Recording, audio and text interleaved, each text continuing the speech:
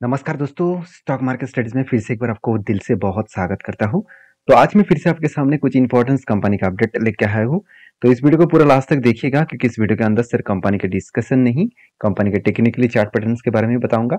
और कहाँ कहाँ पे मेरा ट्रेड है और किस पॉइंट ऑफ़ व्यू से मैंने ट्रेड लिया। किस सिचुएशन के बेसिस में मैंने टेल लिया वो भी मैं आपके साथ शेयर करूँगा, क्योंकि आपको मैं ये सारी चीज़ सिखाने वाला हूँ और वो भी फ्री ऑफ़ कॉस्ट बहुत सारे दोस्त मुझे कमेंट्स भी किया है, सर, क्या आप कोर्स कराते हैं? तो मैं माफ़ी चाहता हूँ, मैं कोर्स कभी नहीं करा आज अभी तक मैंने किसी को कोर्स नहीं कराया। अगर आपको सीखना है तो आपको फ्री में सब कुछ मिल रहा है तो यही सीखिए। इसको सीखकर आप खुद ही एक बार बैक टेस्टिंग करिए आपको सब कुछ पता चल जाएगा कि किस तरीके से काम करना है। देखिए मेरा मकसद यही है कि आ, मैं जिस तरीके से पैसा कमा रहा हूँ आप भी उसी तरीके से आ, सारी चीज़ों को सीख कर पैसा कमाइए। क्योंकि किसी के टिप्स लेकर किसी की बात सुनकर काम मत करिएगा। वहाँ पे आपको प्रॉफिट कितना होगा वो तो पता नहीं मगर मैं तो जब स्टार्टिंग में आया था तब मुझे कभी एक रुपया भी प्रॉफिट नहीं हुआ उल्टा बहुत ज़्यादा लॉसेस भी हो गया। तो जब मैंने सब सारी चीज़ों को सीखा बैक टेस्टिंग किए टाइम दिया तब मुझे अच्छा खासा प्रॉफिट हुआ। तो आप भी उसी तरीके से काम करिए, पहले सीखिए बैक टेस्टिंग करिए, उसके बाद आपको जब लगे कि हाँ अब मुझे ट्रेड करना चाहिए, तब ट्रेड करिए। खुद के ओपिनियन के हिसाब से ट्रेड करेंगे तो आपको एक सुकून भी मिलेगा कि हाँ मैंने खुद रिसर्च किया और ट्रेड किया, मुझे प्रॉफिट हुआ। तो प्लीज़ मैं रिक्वेस्ट करूँगा, सारी चीज़ों को सीख कर काम करिए। तो आज का जो फ़र्स्ट कंपनी है, उसका नाम है समर्थना मदरसन इंटरनेशनल लिमिटेड। देखिए, इस कंपनी के ऊपर मेरा जहाँ पे ट्रेड है, उस ट्रेड के बाद बहुत शानदार तरीके से मोमेंटम जर्नी स्टार्ट हो चुके हैं और मेरे हिसाब से बेस्ट तरीके से टारगेट जल्द से जल्द मुझे देखने को मिलेगा। क्योंकि जब एंटी बना था, तब मैंने आपके साथ शेयर किया था और हाँ टाइम ज़्यादा लगा गया। सॉरी टाइम ज़्यादा लग गया। तो कभी कभी होता क्या है, कुछ कंपनी के ऊपर टाइम थोड़ा सा ज़्यादा लगता है। इसके लिए आपको चिंता करने का ज़रूरत नहीं है। अगर आपने सही तरीके से एनालिसिस किया कंपनी के ऊपर तो उसके ऊपर आपको बने रहना चाहिए। जैसे मैं इस कंपनी के ऊपर एनालिसिस करने से पहले टेक्निकली मैं बताऊँगा कहाँ पे मैंने टेल लिया। देखिए फाइनली क्या बना? यहाँ पे एक शोल्डर बना था, उसके बाद एक बिग हेड बना, उसके बाद दो बार शोल्डर बना। तो फाइनली क्या हुआ? यहाँ पे ब्रेकआउट हुआ। एक्चुअली ब्रेकआउट होने के बाद ब्रेकआउट कन्फर्मेशन भी हुआ। तो ब्रेकआउट मिला और उसके बाद ब्रेकआउट कन्फर्मेशन भी मिला। उसके बाद देखिए धीरे धीरे करके कंपनी ऊपर जा रहा है। तो बहुत सारे लोग मुझे कमेंट्स किया, इतने दिन होल्ड किया। तो क्या सर, ऊपर जा पाएँगे? तो बार बार मैं आपको एक ही चीज़ बोलता रहा कि कुछ कंपनीज़ के ऊपर आपको टाइम लगेगा। पेशेंस का ही गेम है। ये सब कुछ पेशेंस का गेम है। अगर आपके पास पेशेंस है तो आपको ज़रूर फ़ायदा मिलेगा। अगर आप जल्दबाजी करेंगे कि चलो मुझे आज ही इतना चाहिए, कल उतना चाहिए तो वो तो ट्रेडिंग वाला काम हो गया, वो भी इंट्राडे ट्रेडिंग वाला काम हो गया।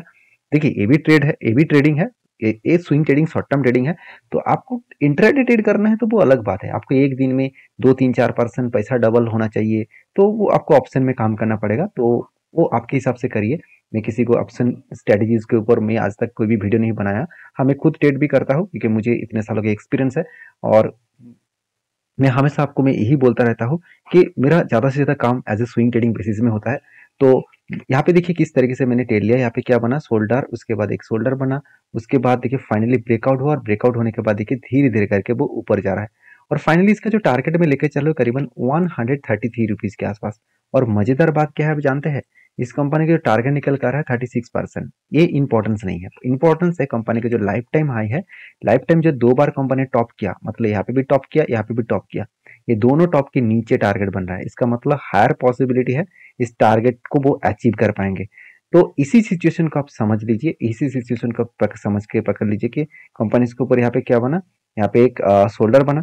उसके बाद उसके बाद यहाँ पे अगर इस लेवल तक पहुँचे और इस तरीके से अगर शोल्डर बनने के बाद एक बिग हेड बने, उसके बाद एक शोल्डर बने तो एक सोचिएगा एक बड़ा धमाका देखने को मिल सकता है। बाकी मैं ज़रूर कहूँगा, इस कंपनी के ऊपर सारी चीज़ों को समझ कर काम करें, क्योंकि पिछले दिनों से जिस तरीके से वॉल्यूम क्रिएट होना स्टार्ट हो चुके हैं, मुझे लग रहा है वो इजीली वो टारगेट को अचीव कर पाएँगे। बाकी मैंने ट्रेड क्यों लिया, उसके बारे में सिर्फ़ एक झलक मैं आपको दिखाऊँगा क्वार्टरली रिज़ल्ट देखिए रिज़ल्ट जब मैंने टेल लिया, तब टाइम कौन सा था? वो भी देख लीजिए। वो टाइम था, करीबन करीबन अक्टूबर मंथ था। अराउंड अक्टूबर अक्टूबर नहीं, मैंने टेड एक्चुअली इस जगह पे लिया। तो दिसंबर मंथ था दिसंबर क्वार्टर का रिज़ल्ट था। तो छोड़ दीजिए दिसंबर क्वार्टर का रिज़ल्ट आपको पिछले क्वार्टर का रिज़ल्ट में दिखा देता हूँ। मतलब सितंबर का तो सितंबर का जो डेटा है, वो पिछले सालों की तुलना से बहुत शानदार सेल्स अचीव किया और प्रॉफिट भी बहुत शानदार अचीव किया। Two two two twenty sorry two eighty eight crore से टू नाइन्टी फोर करोड़ बना। और इस बार तो पाँच सौ करोड़ से साढ़े छः करोड़ के आसपास बना। मतलब एक अलग लेवल का कंपनी का प्रॉफिटेबिलिटी ग्रोथ देखने को मिला, जिसके चलते कंपनी के ऊपर एक मैसिव जंप यहाँ पे देखने को मिला है। बाकी आपके क्या ओपिनियन है, ज़रूर कमेंट्स करना, क्योंकि इंस्टीट्यूशन इस कंपनी के ऊपर माल बेचने के लिए तैयार नहीं है, उल्टा माल खरीदारी कर रहे हैं, चाहे एफ़ हो, चाहे म्यूचुअल फंड हो, चाहे डीएसओ तो आपके क्या ओपिनियन है इस कंपनी के ऊपर, ज़रूर कमेंट्स करना। नेक्स्ट जो कंपनी है, उसका नाम है केपीआईटी टेक्नोलॉजीज़ लिमिटेड इस कंपनी के ऊपर एक रैली हो चुके हैं, बहुत बड़ा रैली हो चुके हैं। अभी थोड़ा सा इस कंपनी रुक कर काम करेंगे, क्योंकि कोई भी कंपनी का अगर लंबा जर्नी हो गया ना तो उसके ऊपर प्रॉफिट बुकिंग होगा, वहाँ पे रुकेंगे, कुछ टाइम बिताएगा, उसके बाद फिर से रैली होने का चांसेस है। क्या सही में कंपनी रैली करने के लिए तैयार है? तो उसके लिए कंपनी का परफॉर्मेंस देखना चाहिए। देखिए, परफॉर्मेंस दिखाने से पहले मैं टेक्निकली चार्ट पर आपके साथ शेयर करूँ तो मैं जिसकी इंतज़ार कर रहा था, मुझे लग रहा है वो इंतज़ार खत्म होने वाला है, क्योंकि यहाँ पे एक पैटर्न के मैं इंतज़ार कर रहा था कि यहाँ पे एक रेंज बना, पहली बात, इस रेंज को अगर ब्रेकआउट करे, उसके बाद रिटेस्ट करे, उसके बाद ऊपर गए तो मैं एक एंट्री लूँगा। मगर मुझे चाहिए यहाँ पे एक कफ विथ हैंडल पैटर्न तो कप तो बना और यहाँ पे हैंडल भी बनने जा रहा है। तो हैंडल पैटर्न कंप्लीट होकर अगर ब्रेकआउट करेगा तो एक बड़ा सा एंट्री मिल सकता है और 19 परसेंट के आसपास टारगेट मिल सकता है।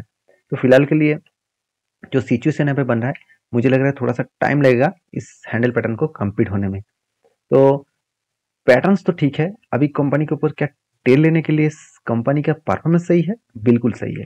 क्योंकि कंपनी का देखिए आप देख सकते हैं दिसंबर मंथ में कंपनी का सेल्स बहुत शानदार ग्रोथ हुआ और एक्सपेंस को भी कंपनी कंट्रोल में रखे उस बेसिस में कंपनी का नेट प्रॉफिट एक अलग लेवल का ग्रोथ हुआ।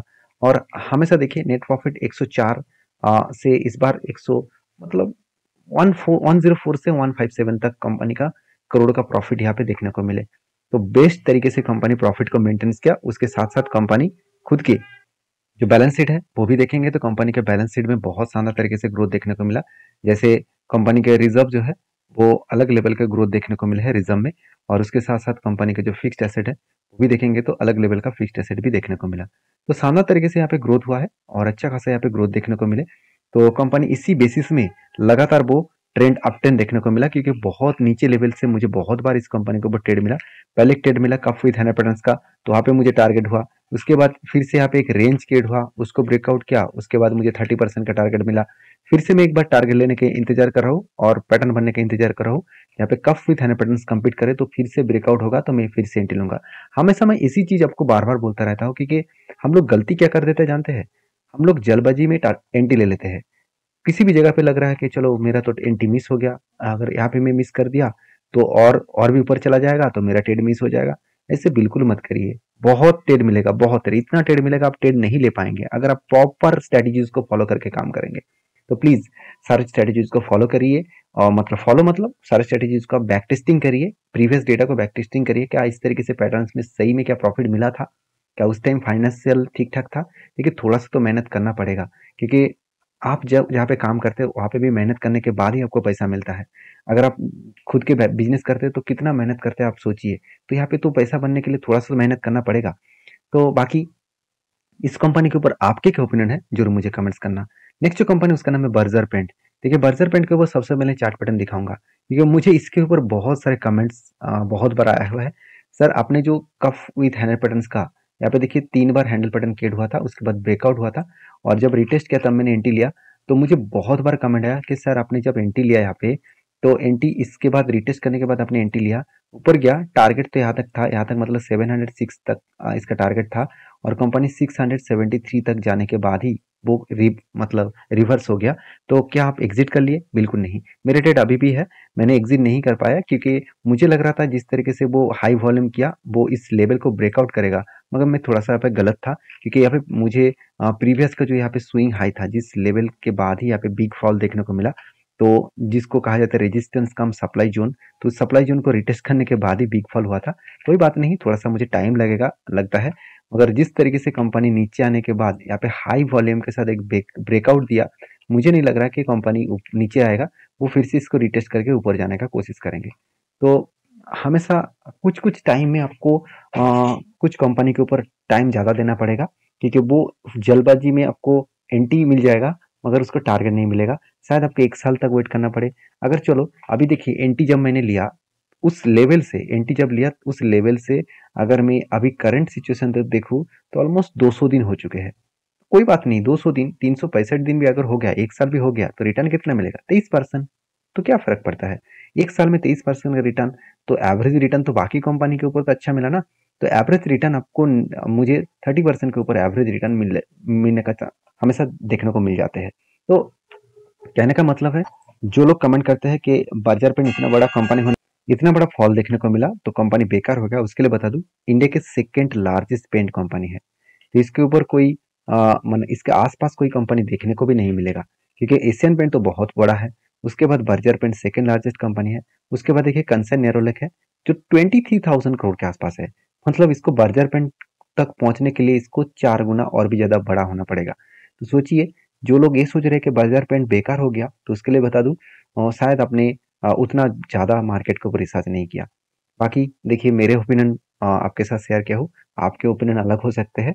मुझे ज़रूर शेयर करिएगा। और मैंने कुछ, अगर गलत कुछ डिसीज़न आपको बता दिया मतलब गलत कुछ बता दिया तो मुझे कमेंट्स करके बोल भी सकते हैं। क्योंकि हर किसी का ओपिनियन लेना बहुत ज़रूरी है। क्योंकि मार्केट में अगर रहना है तो हर किसी को सीखना, सीखने का ज़रूरत है। हर किसी को ओपिनियन होना ज़रूरत है। तो मिलते नेक्स्ट वीडियो में। तब तक के लिए